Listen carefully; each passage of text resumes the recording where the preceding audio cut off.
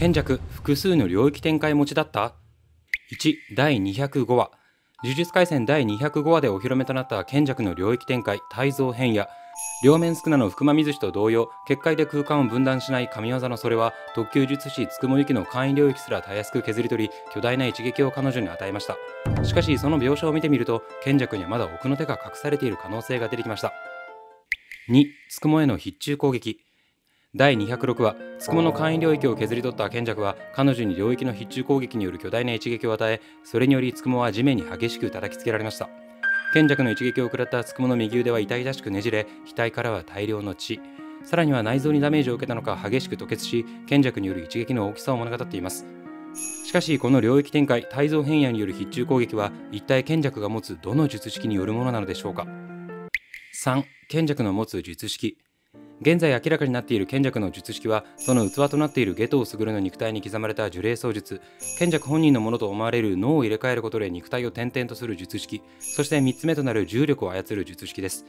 つくもはここに4つ目の術式の可能性も考えていましたがここではとりあえず3つの術式のどれかに当てはまると仮定して考えてみましょう。まずは呪霊操術。これは特級術師下藤卓が生前操っていた術式でその進化はストック可能な呪霊の数に制限がないことそして極の番渦巻きによる術式の抽出。そのどれもが非常に強力でまさに特級の名を冠するにふさわしい術式ですがつくもを襲った頭上から見えない力で叩きつける攻撃ができるタイプの術式ではありません。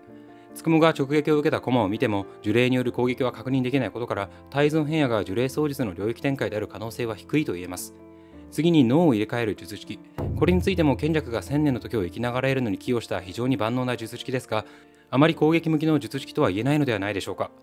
賢者の歴代の器はこれまでにも何度か登場していますがそのどれも賢者がその時代を生きるために肉体を奪ったというだけでこの術式自体が攻撃に向いているとは思えません。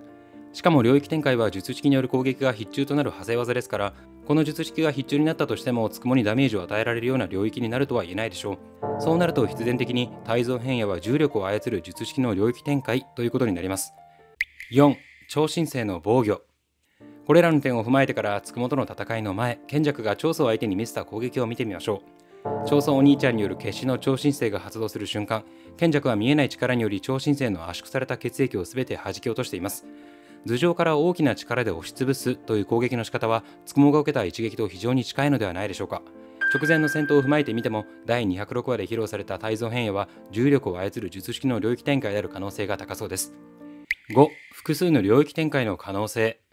泰造変野が賢弱第3の術式によるものだとすると器である下藤卓の呪霊操術はどうでしょうか。作中で下藤が領域展開を披露した描写はありませんが4人の特級術師のうち五条と乙骨は作中で領域展開を発動。賢弱とつくも本人のセリフからつくもも領域展開を得得していることがほのめかされています。4人の特級術師のうち3人が領域展開を扱えるのであればもしかしたら下等も領域展開を使えるのかもしれません。そしてその肉体は今や賢弱の支配下。仮に賢弱が肉体に刻まれた術式の全てを使えるのであれば賢弱には泰造変野以外の第2第3の領域展開があるのかもしれません。天元と肩を並べる結界術の使い手の賢弱のことですからまだ奥の手を隠していても不思議ではありませんね。皆さんのご意見もぜひコメント欄で教えてください。今回の動画はここまでです。動画が少しでもいいなと思っていただけたら高評価チャンネル登録していただけると動画作りのモチベーションになります。それではまた次の動画でお会いしましょう。漫画雑談所のケロでした。よしなに